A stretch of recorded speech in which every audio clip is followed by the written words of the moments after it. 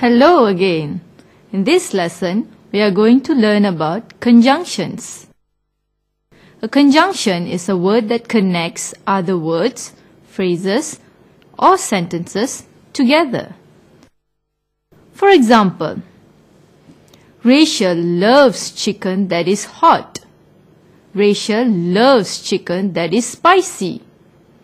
We can connect these two sentences with a conjunction so that we don't have to repeat some of the words. We use the word and to connect the two sentences. Rachel loves chicken that is hot and spicy. Let's try using another conjunction. Samad wanted to go to the movies. Samad didn't have enough money.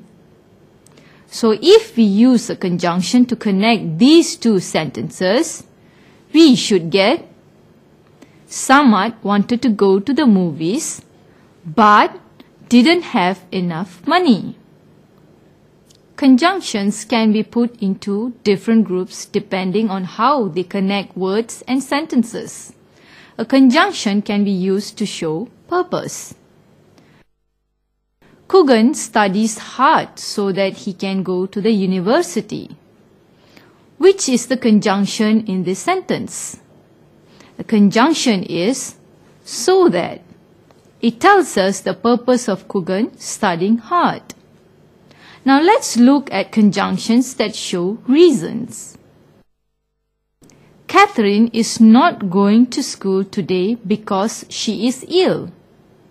In this sentence, the conjunction is because.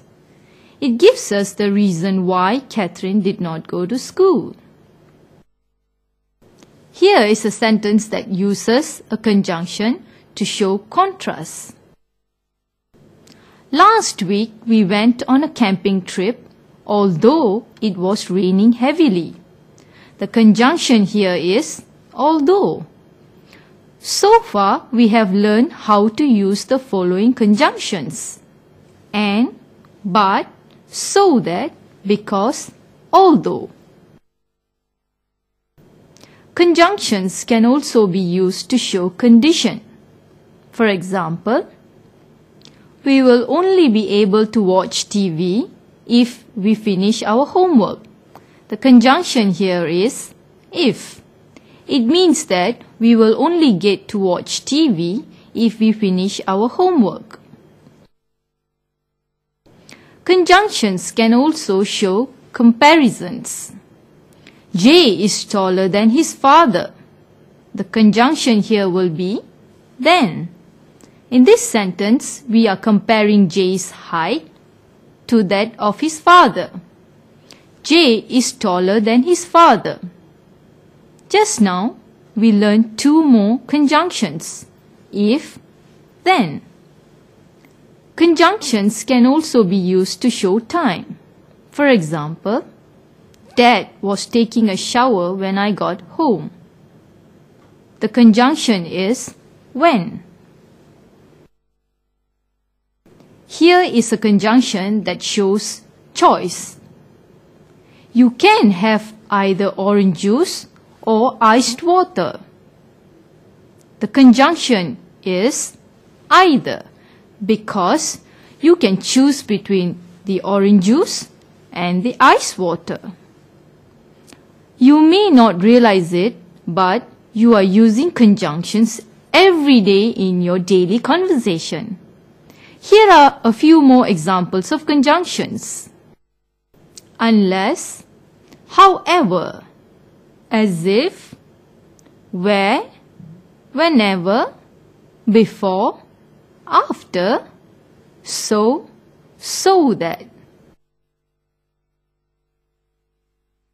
Now let's try this exercise. Fill in the blanks. My mother will not be able to finish her cooking. I help her. Yes, the correct conjunction is unless. My mother will not be able to finish her cooking unless I help her. After lunch, I normally eat a banana or a slice of papaya. The conjunction should be either. After lunch, I normally eat either a banana or a slice of papaya. Azman would like to join our group. We cannot accept any more members. But is the conjunction. Azman would like to join our group, but we cannot accept any more members. Aziz is looking for a shop. He can buy cheap computer parts. Yes, the conjunction is where. Aziz is looking for a shop where he can buy cheap computer parts. Helen is short and slim. Her sister is tall and fat. The conjunction is while. Helen is short and slim while her sister is tall and fat. That's all for this lesson. Bye.